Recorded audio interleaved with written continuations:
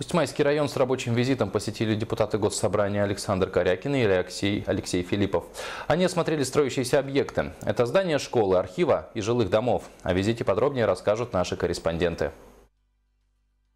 В 2016 году было принято решение построить районный архив площадью 100 квадратных метров, высотой 4 метра.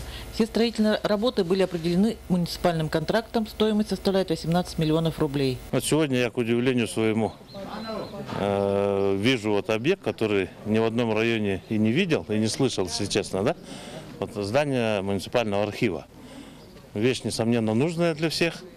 Тут специальное здание, и самое главное, строится не на деньги инвест бюджета, а строится на деньги бюджета муниципального района. В Усьмае также строятся дома по программе переселения из ветхого и аварийного жилья и муниципальной программе, впервые разработанной в районе для работников бюджетной сферы и ветеранов тыла и труда. По распределению а, для ветеранов а, тыла и труда и для бюджетной сферы мы, я думаю, что внутри района сами определимся, значит, сколько квартир может 50 на 50, три квартиры может нашим ветеранам, три квартиры для бюджетников. Ну, тут а, все комиссионно будем принимать решение. Так как все-таки мы приняли это решение еще в прошлом году, приобретение этих квартир в связи с тем, что в этом году открывается Усьмайская э, средняя школа, мы планируем все-таки, чтобы молодые специалисты приезжали приезжали в наш район и, конечно же, здесь оставались. В связи с открытием новой школы особое внимание будет уделяться молодым учителям, которым дадут жилье, но при этом квартиры будут относиться к специализированному жилому фонду.